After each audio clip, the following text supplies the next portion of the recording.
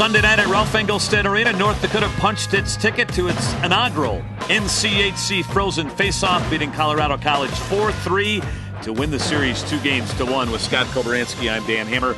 This is your UNDSports.com post-game wrap. Cobra, this series uh, went to the final minute, and it was. Uh, it was a good series. I mean, Colorado College, you've got to give them a lot of credit. They really played their hearts out. They played right to the very end, 4-3 game.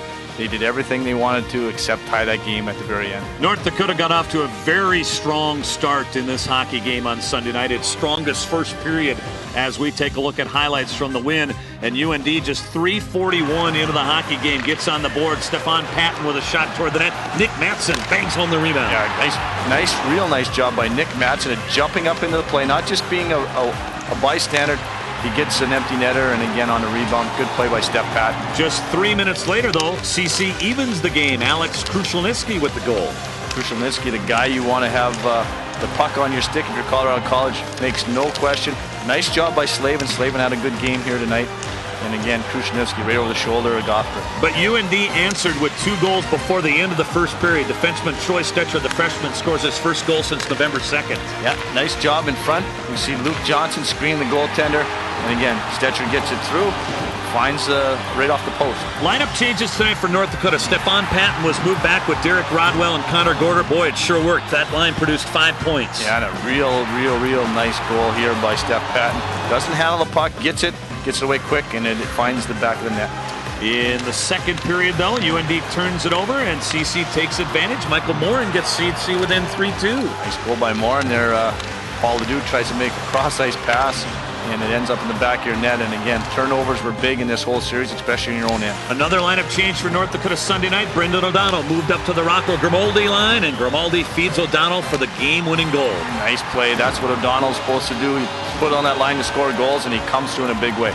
But uh, we went right down to the wire because Colorado College scored with a minute 29 remaining. Alex Roos, the hero from Saturday night, got CC within 4-3. Yeah, nice high deflection, and again, uh, Slavin again. He's uh, he's had a heck of a weekend. I've talked a lot about him, but North Dakota prevails 4-3, and they're moving on to the target center. Big win for North Dakota in the face-off circle tonight. They won 45 compared to 26 for Colorado College. Katie Hale caught up with North Dakota head coach Dave Hakstol. Uh, coach CC fought till the very end, but a very good team effort by North Dakota tonight. It was. It was a great team effort from top to bottom against you know a great opponent. I give CC a heck of a lot of credit. That uh, that team played extremely hard. They sure did. Uh, I know you well, and your celebrations typically are quite short before you get back to work. Uh, Miami up next. I, I, think that will probably shorten it a little bit more, even for you. Uh, but uh, you know, thoughts on the, the week ahead? Well, first of all, we're uh, we're just we're thrilled to be going to the uh, the inaugural tournament at the Target Center and have a chance to play for all of our fans there. it's going to be a heck of a contest. Miami's playing extremely well you know what, we're going to take a couple of hours here, enjoy this.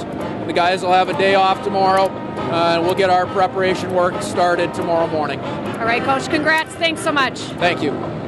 And it should be a great week ahead for North Dakota fans who I know will pack the Target Center. Dan? Without a doubt, thank you very much. Kate is North Dakota bound for the inaugural Frozen Face-Off. It begins Friday at the Target Center in downtown Minneapolis. North Dakota, the number two seed, will play eighth seeded Miami in the semifinals.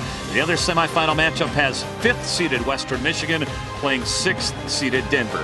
For Kober and Katie, I'm Dan. That's your UNDSports.com post game wrap.